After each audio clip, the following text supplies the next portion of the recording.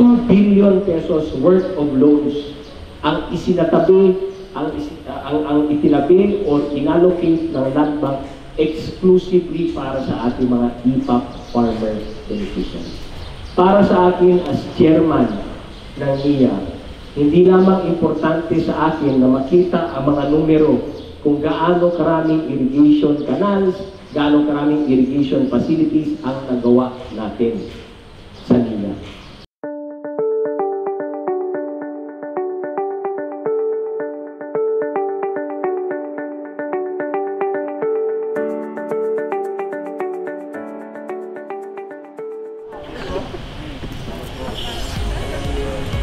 Pangulo po silang lahat ng ating pangulo, opo, nangayon ako. Ay, pinamaga mano, morning po, morning po.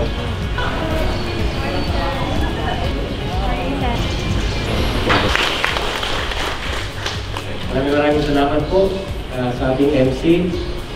Ah, binabati ko po ang ah, ating ah, region regional office natin sa NIA Mimaropa. Unang-una sa ating napakabuti, napakasipag nating regional manager na tatlong regions na rin po ang nahawakan. At ah, ngayon, nandito po siya sa Mimaropa. Walang iba si Regional Manager, Engineer William Ragodon. Sir, maraming maraming salamat sa pag-welcome at sa lahat initiatives. Sa lahat ng bumubuo ng NIA Mimaropa, lalong-lalo na dito sa Kalapan, palakpakan po natin ang puwersa ng NIA Mimaropa. Alam niyo, kung hindi, hindi nyo na itatanong, tagaling ko na lang to, hindi nyo na itatanong, uh, napaka, oh, malapit sa puso ko talaga yung NIA ever since. Kasi nung ah, panahon ng kampanya ni Pangulong ah, Rudy Duterte, ah, kasama doon sa mga kampanya niya, sa pag-ikot niya sa buong bansa, kasama sa kampanya niya na pag siya ay naging Pangulo, eh, tatanggalin niya yung irrigation service fees, lalo-lalo na sa mga may hirap natin mga farmers. At totoo nga, doon siya po ay naging Pangulo ng Republika ng Pilipinas, ang pinakaunang, pinaka number one na utos niya po sa akin ay tanggalin yung or uh, i-free na natin, i-free up na natin ang ISF para sa mga farmers. Malaking tulong po yun sa mga sasaka. Ah, bakit ako na-involved dun? Kasi ako po yung tinalagang chairman ng Appropriations Committee sa Kongreso. So, ibig po sabihin, dahil ako po yung chairman ng budget, kung tatanggalin natin yung ipi-free up natin ng irrigation service fees para sa mga farmers natin, sa Irrigators Association, kailangan po hanapan ng panibagong budget na yun ang gagamitin natin pantapal doon para magpatuloy ang serbisyo ng NIA. At bilang chairman ng budget ng panahon na yun, yun po yung number one assignment na binigay sa akin at ah, ayun po, nakahanapan natin ang paraan at nagawa natin yung inutos ni Pangulong Duterte sa akin. So napaka-importante po talaga sa akin itong mga pangangailangan ng NIA.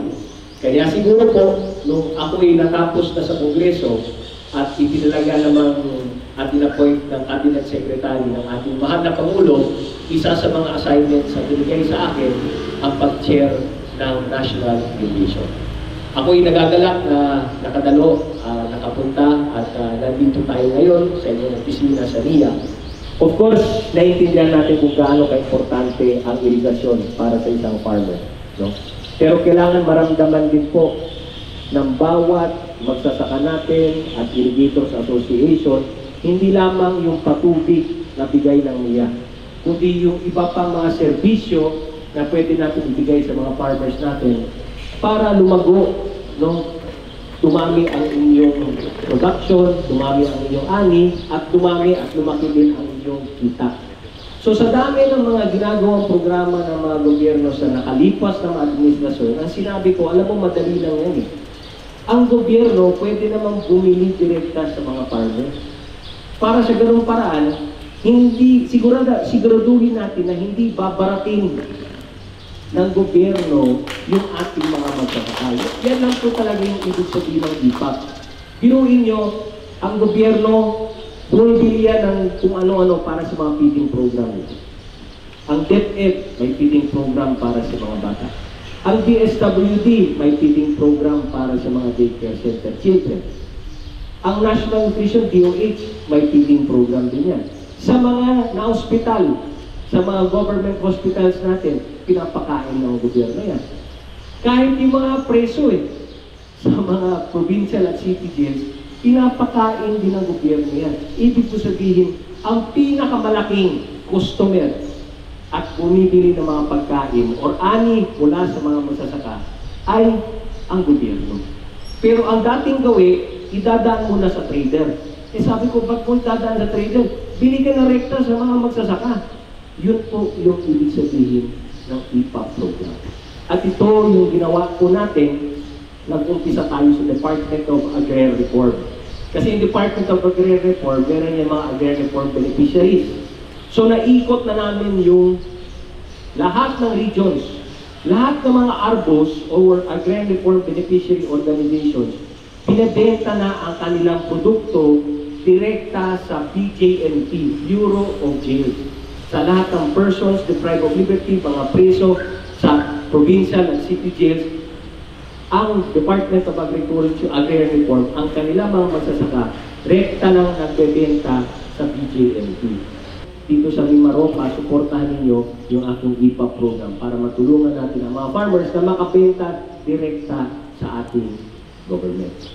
At hindi lang sa national government, pati sa mga LGUs, pwede na magbenta, pati na rin sa online. Yung sunod kong project talaga para sa IPA, dahil nauso na yung mga Shopee, Lazada, mga online. Bakit? Ang mga farmers natin, di ba pwede mag-online? Pwede rin. So meron kaming ginagawang programa ngayon, yung Deliver E, no? At ang ating kasama dyan, ang Department of Trade and Industry. Ang Department of Agriculture, meron din sila. Ikadiwa naman. Pareho yan, Ikadiwa, pati Deliver E, parehong mga online platforms. So isipin ninyo, imagine ninyo, mga farmers, mga IAs natin, na hindi na kayo maglalako o maghahanap ng mga buyers ninyo or maipit sa mga nagpautang na mga traders o kung sino man nagpaipit sa inyo kung meron na kayo online. Ibig po sabihin, hindi pa kayo nag-harvest, pwede na ninyo ma-advertise online na meron kayong itatanim na ganitong produkto, ang benta nyo ganito, ang dami ng anin nyo na in-expect ganito, i-post online para meron ng buyer na maghihintay doon sa iyo. At yung buyer, hindi lang isa, hindi lang dalawa, kundi maramihan. Pwedeng retail, pwedeng wholesale, pwedeng kung ano-ano. Kasi nakapost online, marami na, kayo na pwedeng magdikta ng presyo kasi marami na mga buyers ang nagkikipag-agawan sa inyo. Yun talaga yung power of online na gusto kong dalhin itong EPUB program. Kaya sabi ko nga sa inyo, napakagandang programa. At ang kinakailangan lamang talaga ang suporta na niya. In fact, ang niya ngayon, umiikot kami sa iba't ibang mga regions, kahit online, kahit virtual, para turuan ang mga IEs natin kung paano sila maging kabahagi ng IPA program at lahat ng ganitong klaseng opportunities at pagkakataon, ma-open up din po natin sa kanila. Ang isa pang ginawa namin sa IPA, binigyan namin ng credit line sa land bank. So ang land bank, kinumpinsi po namin na uy, pag IPAP yan, pag beneficiary or farmers natin sa IPAP, pwede ba bigyan ninyo ng special lending facility. So ang ginawa po ng land bank, 2 billion pesos worth of loans ang isinatabi, ang, ang, ang itinabi or inallocate ng land bank exclusively para sa ating mga IPAP farmer beneficiaries. Para sa akin as chairman ng NIA, hindi lamang importante sa akin na makita ang mga numero kung gaano karaming irrigation canals, gaano karaming irrigation facilities ang nagawa natin sa NIA. Importante din po para sa akin ilang farmers at ilang IAs na ba ang natulungan nating rekta at nakaramdam ng pag-aruga at kabagtulong ng gobyerno mula sa NIA. Yan po talaga yung ambisyon ko as chairman ng NIA. Yan ang matagal ko nang ine-emphasize sa General Isaya, sa administration ng NIA, at sa lahat ng mga regional managers, kailangan maramdaman ng mga magsasaka na kapartner natin sila, na tinutulungan natin sila kasi ang mandato po ng NIA, hindi lamang ang patubig, kundi ang pagtulong sa ating mga magsasaka. So sa inyo po lahat, ah, maraming maraming salamat po sa suporta ng mga taga-NIA, sa suporta ng mga IEs natin. Maging challenging na po next year dahil next year medyo mandanas ruling na tayo at ang isa sa mga inaabangan natin pagpatak ng 2022 ang pag-delegate ng functions ng NIA doon na lang tayo sa mga national irrigation system, ang mga communal irrigation systems, ay mapunta na po sa mga local government units natin, pwera lang sa mga ah, fourth class at fifth class municipality. Pero ibig po sabihin yan, kailangan po talaga yung magandang coordination sa mga LGUs na dapat huwag nilang pabayaan, bagkus dapat damihan pa nila ang suporta para sa mga communal irrigation systems at siyempre pabantayan dapat ng NIA na hindi maging pabaya ang mga LGUs natin sa mga IAs na nagbe-benefit at mga farmers na nagbe-benefit sa communal irrigation. Of course, sa mga national irrigation, ibang usapan yan, automatic naman sa NIA na alagaan ang ating mga IAs. So muli, um, siguro ang assurance ko na lamang po sa inyo lahat na bilang chair ng National Irrigation Administration, talagang isusulong namin itong IPAC, talagang isusulong namin yung mga iba pa mga deliverables namin bago matapos ang termino ng ating mahal na Pangulo at kung saan man ako dalhin ng kapalaran at ang ating mahal na Diyos, asahan po ninyo ang aking full support ay magpatuloy anuman ang ibigay sa akin na bagong tungkulin pagkatapos ng administrasyon ng Duterte. Maraming maraming salamat po muli.